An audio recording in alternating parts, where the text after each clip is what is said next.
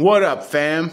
Manly Brandon here, and um, I decided I'm going to do like a series of videos to help out beginning lifters and stuff like that because I myself am a beginning lifter, so you're getting it from my perspective.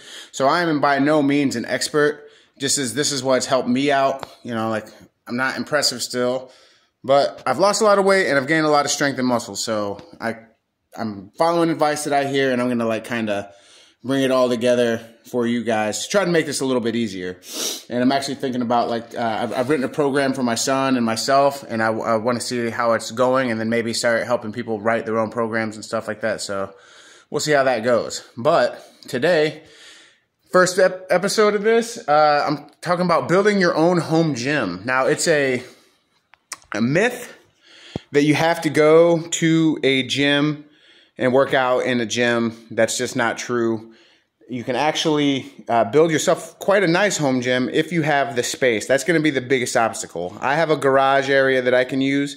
Maybe you have an extra room or whatever. You don't need a lot of equipment. I probably have too much, and uh, variety is the spice of life and everything, but sometimes it's uh, overwhelming, especially because you can get a lot of benefit just from doing calisthenics, which I'll cover in a later video. But uh, basically, uh, what I got here is uh, kind of standard equipment. That's a little bit not standard the total gym, and I I got lucky. I found that at a thrift shop, and maybe you will too. But that's a thousand dollar piece of equipment that I got for thirty two bucks. So and it came with other stuff too. So I, I got the deal of the century on that. But basically, what you need at home is a bench press, some free weights, which can be bought for cheap at Walmart. They're not going to be the nice ones. They're going to be the the sand ones, but they work. Heavy weights work uh, and a bars. And then you can pretty much design your own program around that. Uh, a bench, I recommend like a bench, but you can use your bench press bench because I love bench dips because I love working on my triceps. It's like my favorite muscle to work. Uh, can't really tell here. My pump's going away, which sucks. I just finished a pretty hard workout on my arms. But um, yeah.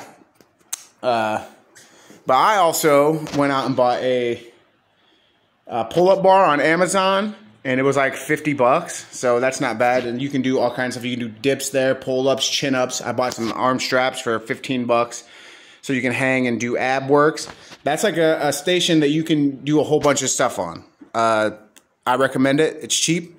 Uh, this is a sit-up bench uh, for abs if that's what you want if you want your abs to be popping because they you can't make them appear that way but you can make them you can they're like any other muscle. You can progressively overload them so if you want your abs to pop which uh, as i continue to lose weight i will maybe start doing more abs to make them pop more. Went off the rails a little bit yesterday. It was my son's birthday party like a lot of bit yesterday. So i'm making up for it today uh, working out a little bit harder than usual try to burn off some extra calories. Even though burning calories in the weight room is a bad idea you need to burn that doing cardio the weight room is the long term. That's where you, you up your metabolic rate. You don't burn calories out here. Like I, all the exercise I just did, I probably burned 200 calories, and I like I am smoked. My arms are like dead. It's not big for calorie burning, but it, if you build muscle, you'll burn more calories in the long run. I'll do a full video on that too. Um, like I said, a bench.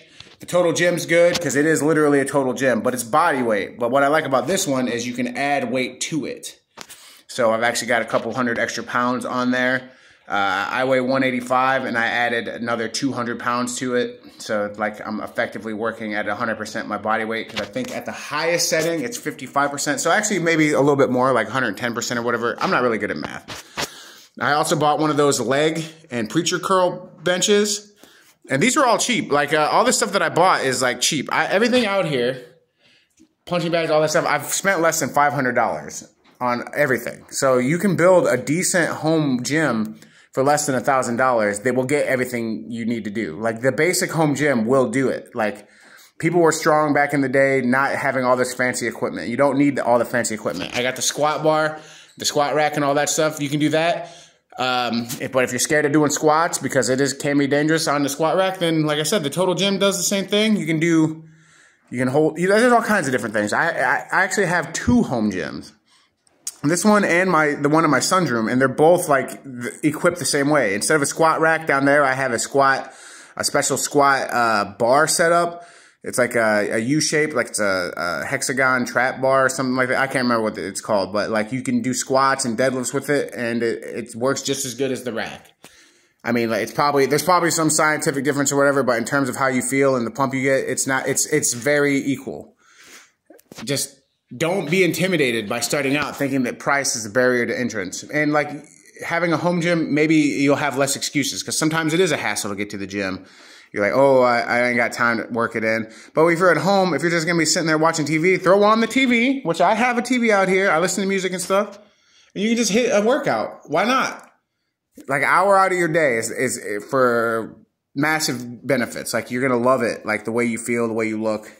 But don't come out here to your this gym work trying to lose weight uh, unless you're just gonna hit the the bike all day, which the bike is in retirement until the summertime because I'm gonna start hitting cardio again. Or you can do boxing. Boxing is fun for cardio. But yeah, uh, a home gym does not have to be expensive. You don't need a lot of equipment. Dumbbells, barbells. I recommend an EZ curl bar and just lots of weights and a couple benches, just things, just so you can uh, have stuff to prop up and start your exercises. If you have a that kind of bench, you can do bench press, you can do skull crushers, you can do bench dips, you can sit on there and uh, do all your concentration curls, everything. Like you just a bench. Got, I have multiple benches. You don't need that many. You just need one, and you can do all kinds of stuff. So don't let that be a barrier to entry for you. Do what you need to do, spend a couple hundred bucks, get yourself a, a little decent setup, and start working out. It, it'll change your life. All right, peace.